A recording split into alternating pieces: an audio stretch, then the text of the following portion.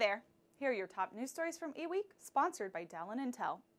Today's topics include a university professor's discovery of an alternative way for law enforcement to unlock smartphones, Google's initiation of new customer-supplied cloud data encryption keys, IBM's X-Force Red security team that was created with the goal of identifying vulnerabilities in enterprise IT systems, and Instagram's introduction of its new Stories feature to make it more competitive with Snapchat.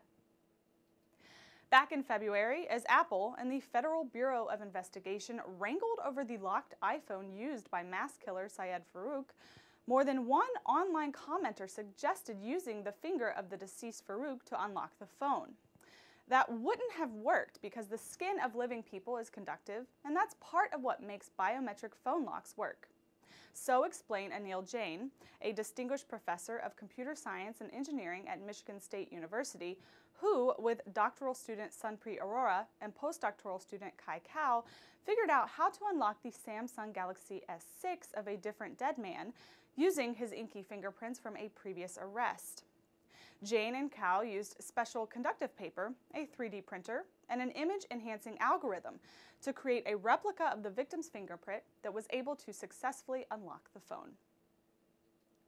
Google this week announced general availability of an option that lets customers of its cloud services use their own keys to encrypt sensitive data stored online. Google first introduced its customer-supplied encryption keys for Compute Engine in beta form last year. The feature enables enterprises to protect their data using encryption keys that are not owned or managed by Google. The company claims it will only require and hold customer keys temporarily to fulfill requests such as starting a virtual machine or attaching a disk. Currently, Google's cloud platform encrypts all customer data stored on its servers by default without the customer having to do anything to initiate the process. IBM this week announced the creation of X-Force Red, a new elite security testing team consisting of security experts and ethical hackers familiar with a variety of industries, including healthcare, financial services, retail, manufacturing, and the public sector. The new team will conduct penetration tests to try to uncover security vulnerabilities for IBM clients. Charles Henderson, a penetration testing expert and security professional with more than 20 years of experience in the information security industry, is the team's leader. Henderson, who is global head of security testing and X-Force Red for IBM Security, said he has been working on putting the X-Force Red team together since October 2015. The team will focus its vulnerability testing on four primary areas applications, networks, hardware, and the human resources that make up an organization's workforce. Instagram, borrowing a move from the Snapchat playbook, will soon introduce Instagram Stories, it announced in an August 1st service update. Stories will feature an unlimited number of photos, videos, and drawn doodles to tell a story, which will disappear after 24 hours.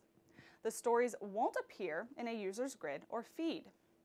Snapchat has attracted users by being in large part ephemeral and thus low pressure, while Instagram has become dominated by ever more professional looking photos. The pressure of posting high quality photos has led to a reduction in user activity or to the practice in many cases of just posting once a day. Thanks for watching. Follow the links on this page to learn more about the stories mentioned in this broadcast. And check back every weekday for another daily tech briefing from eweek.com.